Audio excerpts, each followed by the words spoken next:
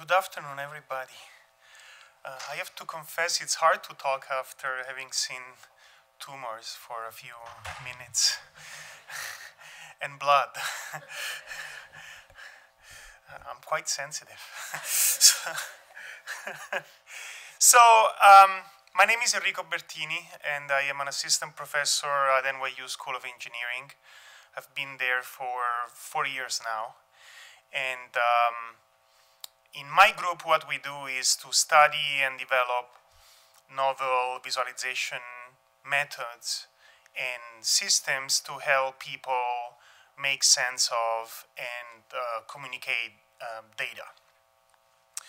Um, the, typically, the, the kind of work that we do is more on how to visualize abstract data rather than physical data, like the one that you have just seen in the previous presentation.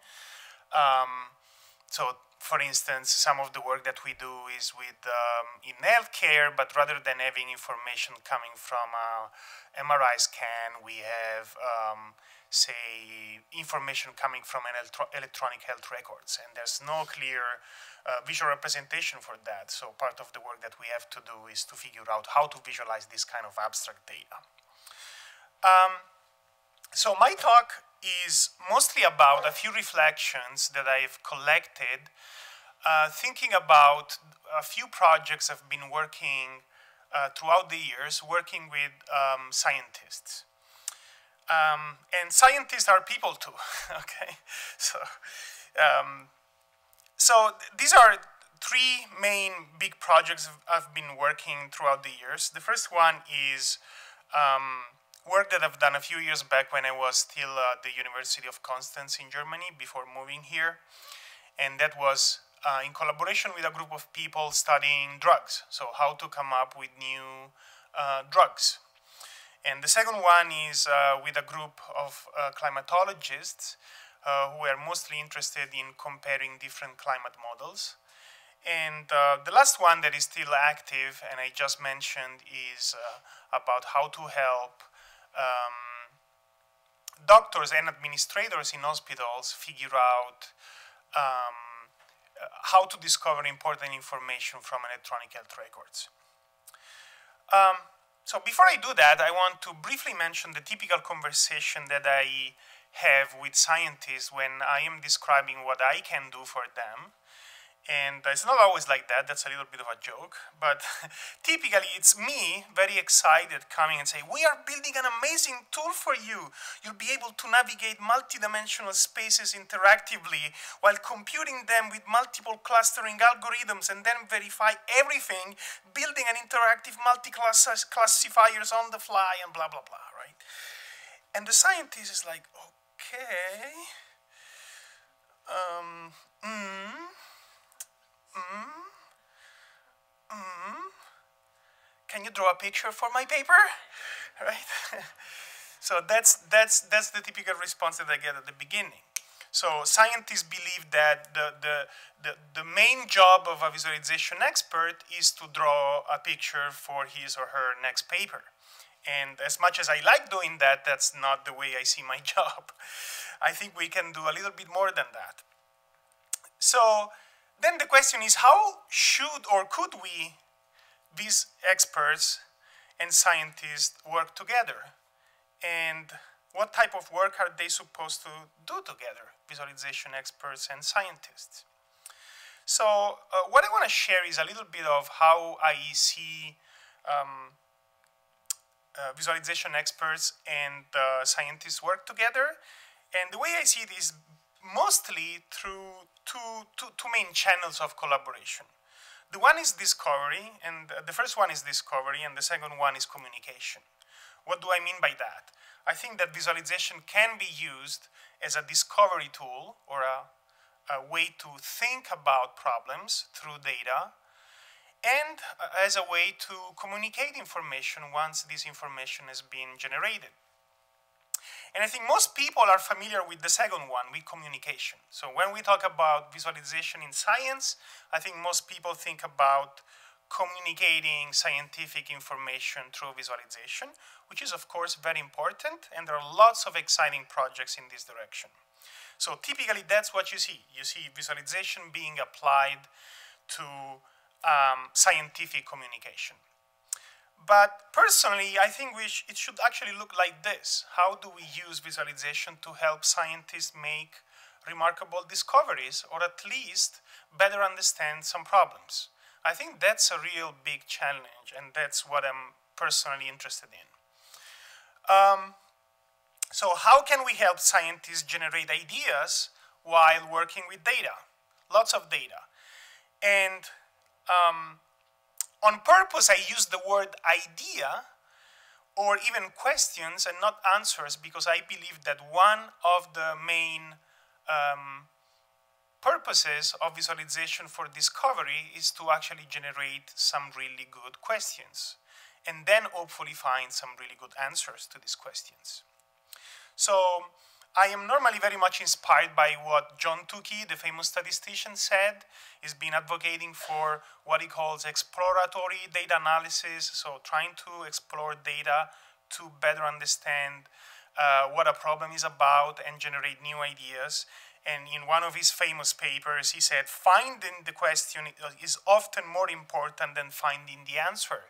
And I do believe that visualization can be used to find really, really good questions. And hopefully, also some really good answers.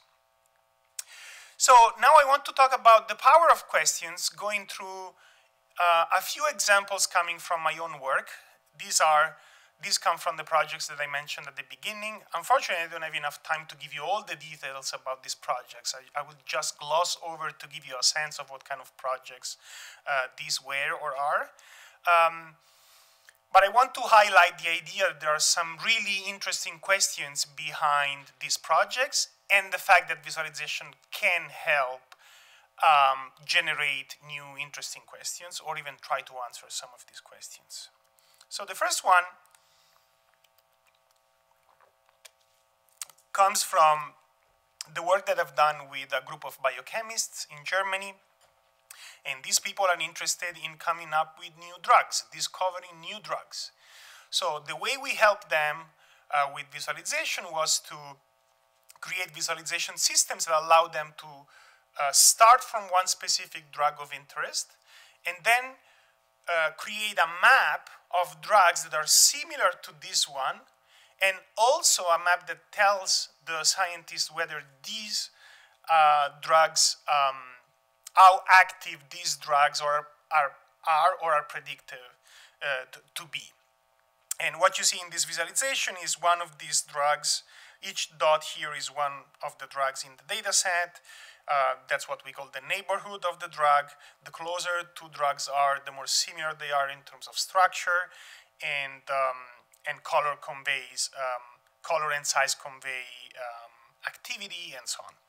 So what um, scientists can do with this kind of tool is basically trying to figure out what are interesting, potentially interesting drugs to um, explore further. Second project is in, was in collaboration with a group of climate scientists. And the problem that they have is that they have lots of simulation about climate, climate, but with many different models. Okay, so they each model changes um, so in climate science, there are lots of different models to simulate how climate evolves.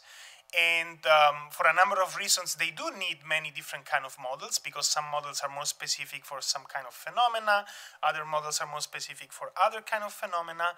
But the problem that they have is that they don't know how to compare these models. So they don't know where they differ, when they differ, and for what reason they differ. Oh, sorry. So what we did there was to build a visualization system that allows them to compare these models and trying to understand, as I just said, where they differ, uh, when they differ, and hopefully also why they differ, and hopefully come up with new questions and ideas on how to generate new models. The last one is an ongoing project that we have with um, um, some uh, medical experts at the NYU Langone School of Medicine.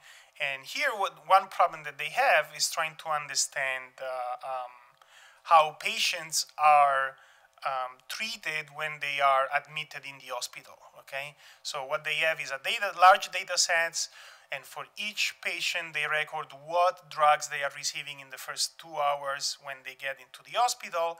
And in this case, the first thing that they want to do is they want to understand uh, if there is a relationship between the drugs that they receive and whether the um, patients are admitted or sent back home and understand whether this process makes sense or not.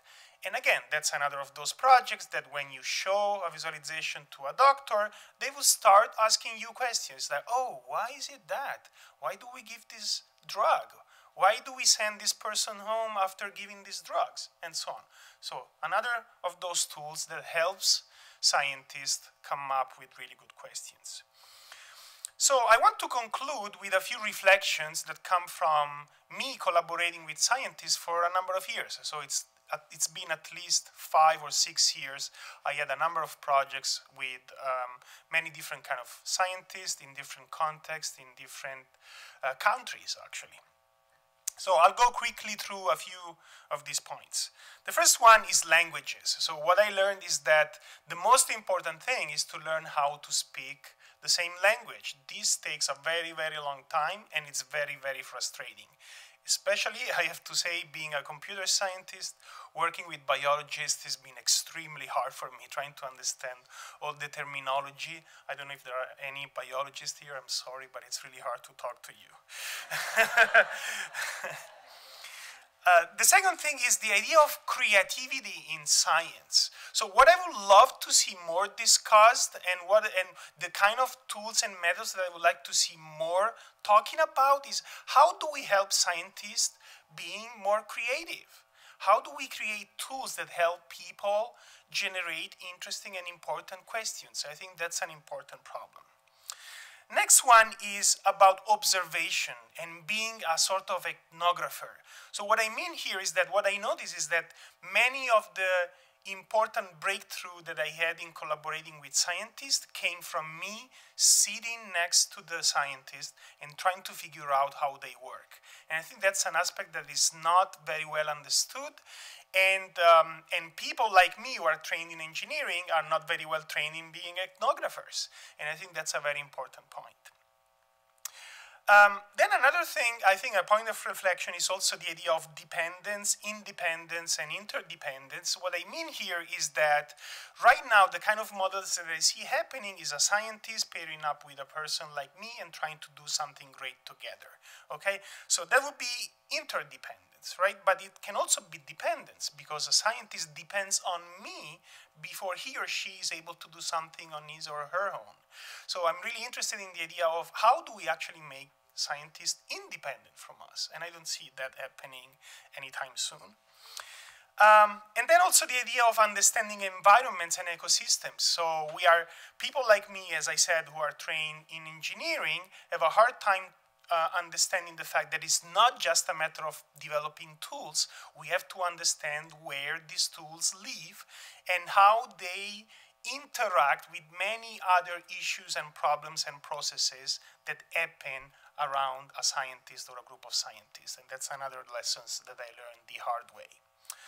Um, and then, of course, also infrastructures. What I mean here is that when we develop new tools, we have to figure out how to interface our tools with an ecology of existing tools. And that's another interesting and very important problem. And the last one is, yes, we can still help scientists create pretty pictures for their papers. I'm very happy to do that if it's needed. So this concludes my talk. Thank you.